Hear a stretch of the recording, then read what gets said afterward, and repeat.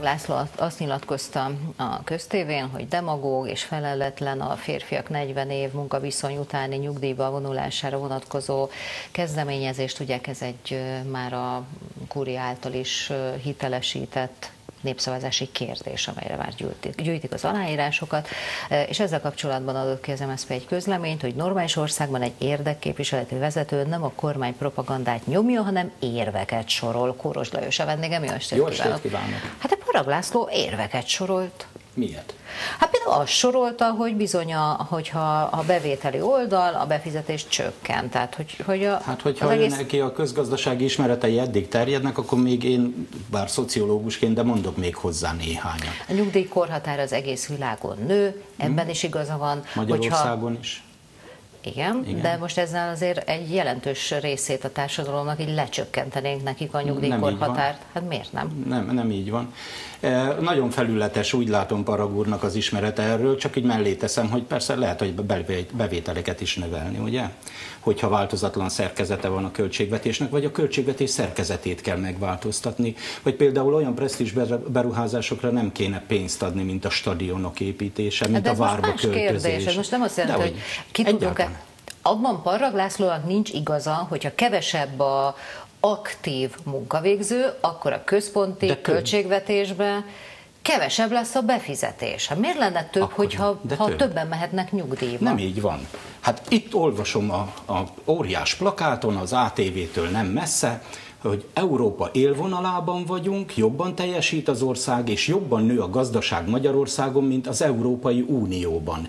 Azt mondja az államtitkár, és ő egy hiteles ember, hiszen a kormány nevében beszél tegnap előtt, hogy Magyarországon 240 ezer fővel többen dolgoznak ebben az évben, mint az előző évben, tehát több mint 400 ezerrel több járulékfizető van, mert a munkaadó is fizet járulékot, vagy most már szociális hozzájárulási adót Igen. kell fizetni, csak ezt azért nem kéne figyelmen kívül hagyni, mert a nyugdíjkasszára nincs ilyen, hogy nyugdíjkassa. Megszüntette a Fidesz, nincs nyugdíjkassa. Olyan van, hogy az, az éves költségvetésben nyugdíjakra a következő évben mennyit szánnak, de olyan, hogy nyugdíjkassa nincs. A szociális hozzájárulási adó az közteher, és a közterhet befizetik az emberek, és befizetik a munkáltatók a foglalkoztatottak után. Hogyha ennyivel nőtt a foglalkoztatottság, akkor radikálisan nőttek ezek a bevételek is természetesen. Tehát ezek a dolgok így függenek véleményem szerint össze. Na most... Ez most várjon egy kicsit. Tehát most igazából ön a, a, arról beszél, még ha kis éllel is a hangjában, hogy a Fidesz szerint jobban teljesít a gazdaság, többen dolgoznak, már pedig ha jobban teljesít a gazdaság, többen dolgoznak, akkor több van a nagy közös kasszánkba. De én most másról beszélek, hogyha ha egyszer a, mondjuk a népszavazás révén, eh, tehát sikeres lesz a népszavazás, és az országgyűlés elfogadja azt, hogy ugyanaz a szabály vonatkozzon a férfiakra is, mint a nőkre is, hogy ez most 40 év munkaviszony, vagy 42, ezt most így nem tudjuk, de majd ezt is megbeszélhetjük, szóval maradjunk a 40 évben, akkor ez biztos, hogy igénybe fogják venni, sőt, időarányosan mindig többen és többen fogják igénybe venni. Ők kiesnek az aktívak közül, hát annyival a központi költségvetés bevétele, hogy ne csökkenne. Ők még dolgozhatnának, de nem fognak. Tisztázzuk azt, a hely, hogy miért alakult ki ez a helyzet. Mert itt ugye arról van szó, szó nincs a 40 évről egyébként a föltett kérdésben. Nincs róla szó. Az esélyegyenlőségről van szó.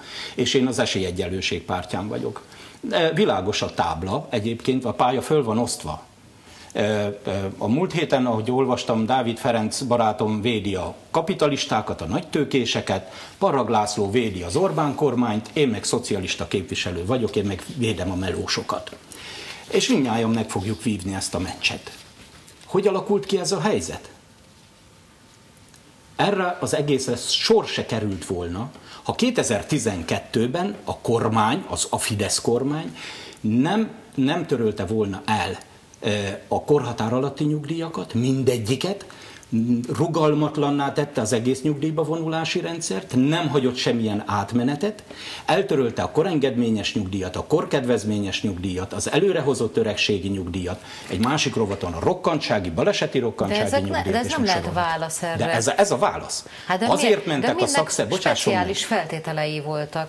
Milyen feltételek? Azok a feltételek éltek és működtek. Igen. Éltek és működtek. De ez nem fogja kiváltani. De igen, mert hogy de mert hogy a múlt év végén a kormány és a szakszervezetek és a munkaadók háromoldalú tárgyalást folytattak a bérmegállapodás kapcsán, és a kormány kezet adott arra, hogy az első fél évben rendezni fogják a korhatár alatti nyugdíjak ügyét, és azon belül is a korkedvezményes nyugdíjak ügyét, mert ez év januárjától már a régebben megszerzett jogosultságokat sem lehet érvényesíteni. Plusz azt is vállalták, hogy a sztrájk törvényt felül fogják vizsgálni, és a munkatörvénykönyvét. És egyetlen egy dologban nem tartotta a szavát a kormány. Erről van szó. Ezért a szakszervezetek legalább ebben az egy ügyben az esélyegyenlőség megteremtése érdekében a választási bizottsághoz fordultak, amelyet a bizottság elutasított, ők fellebeztek, és a kúria helyt adott ennek a kezdeményezésnek. A történetét fogalmazok többes szám, hogy ismerjük, hiszen sokszor volt már erről szó. De akkor inkább úgy kérdezem, hogy ön szakpolitikusként, de tágíthatjuk a kört, az ön pártja egyetért azzal, hogy a világ haladjon Magyarországon legalábbis afelé, hogy minél korábban mehessenek nem, nem. dolgozók nyugdíjba? Egyáltalán Tehát ez nem erről fog szólni nem ez a erről fog szólni, Nem erről fog szólni. Arról fog szólni, akkor most önt kérdezem, mint magyar állampolgárt. Jár-e nyugdíj annak az embernek, akinek több mint 43 év ledolgozott ideje van, de nem töltötte be a nyugdíj korhatárt, és kirúgták az állásából, vagy megszűnt a munkahelye. És a nyílt munkaerőpiacon nem talál 62 éves korában állást. Mivel emelkedik a korhatár, ennek az embernek még három évig kell közmunkán, közmunkán néhány tízezer forintért szemetet szedni az utcán. De mind a ketten tudjuk, hogy nem ez a jó megoldás, tehát a kérdés innentől kezdve költői kérdés, mert nem az a jó megoldás, hogy közmunkásként szemetet szed a, a, az utcán, De most ezt és az sem jó, az sem jó, hogy mivel úgyse talál munkát, akkor inkább menjen előbb munkába, nyugdíjba, mert hogy az az ember, én azt gondolom, hogy sokkal szívesebben dolgozna még. Igen.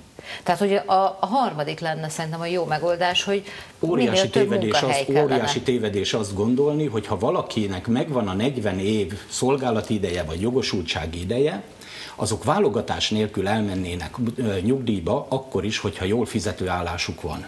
Nem, én is azt mondom, Na. hogy több munkahely kellene, szerintem ez a jó megoldás, és szerintem ön is így gondolja.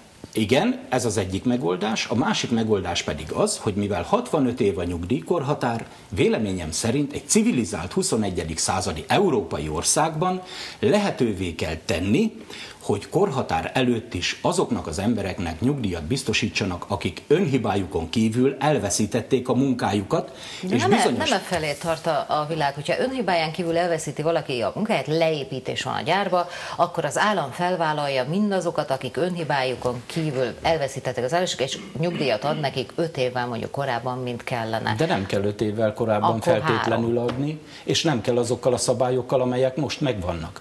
De Azért... nem lenne jobb inkább arra koncentrálni, hogy segítsünk munkahelyet találni nagyobb elánnal, és munkahelyeket teremteni, és ösztönözni helyen. a piacot, hogy munkahelyet, akkor ebben egyetértünk. Tehát a, a világ nem e felé halad, és nem véletlenül, és ez nem azt mondom, hogy nekünk is a világ irányát kell mindenképpen követni, csak nem véletlenül halad e felé a világ, hogy minél tovább engedik az embereket dolgozni, és szeretnének minél uh-huh. tovább kitolni az aktív időszakukat. Igen. Na most ehhez képest az én javaslatom például arról szól, hogy igen, eh, nem lehet nemenként különbséget tenni. Ezt egyébként Miért? a római szerződés is tiltja. Miért? Mert az Európai Unióban nem illik. Az Európai Unió tagországaiban nem illik ilyet csinálni. Tudja ön, hogy nem. hány éves volt a nők nyugdíjba vonulási átlag életkora, mielőtt bevezették a a nyugdíjba vonulási szolgálati ideje? 45. Mm-mm.